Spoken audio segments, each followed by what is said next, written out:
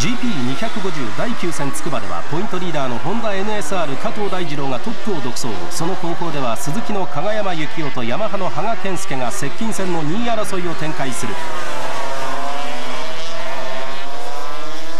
加藤に30ポイント差でランキング2位につけるヤマハの中野真也はスタートで大きく出遅れるが周回ごとにポジションを挽回。レース中盤には4位に浮上する。しかしレースも残り8周を切った23周目の最終コーナー中野は痛恨の転倒。2戦連続のノーポイントとなった中野はタイトル争いから脱落してしまう。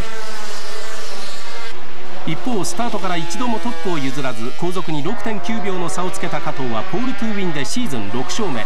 加賀山は2位羽賀は3位でレースを終えた。結構予選も調子よくてだから結構決勝も結構ずっとトップでいけたらいいと思ってたんででいけてよかったです。うんまあとりあえずポイントは抜きにしてあと2戦勝ちたいんで頑張ります。中野は一気にランキング4位に後退。加藤はランキング2位の加賀山に36ポイントの大差をつけてランキングトップを独走。いよいよ加藤は初のタイトルに王手をかけた。そして迎えた第10戦 TI サーキット間。加藤はここで9位以内に入れば念願のタイトル決定となる。加藤は予選1回目に他者と接触し転倒を喫するが2回目にはコースレコードを叩き出しシーズン7度目のポールポジションを獲得。94年に初優勝を挙げたここ TI でタイトル獲得に臨む。いつも通り勝ちに行ってで初優勝したのがここなんで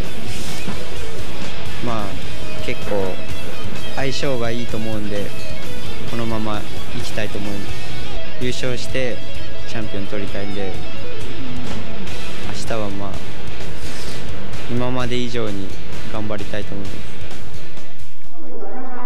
そして迎えた決勝。ポールポジションの加藤に続くフロントローは羽賀と中野のヤマハ YZR そしてヤマハ TZ の関口太郎が初のフロントロー4番手につけた。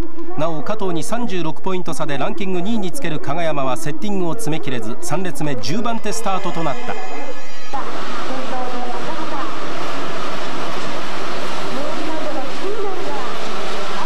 第10戦 TI サーキット間 GP250 決勝スタート。周回は20周。ポールポジションからロケットスタートを決めた加藤がホールショットこれに羽賀が続く。2列目から好スタートを決めた TZ の原田真也が3番手。中野は4番手につける。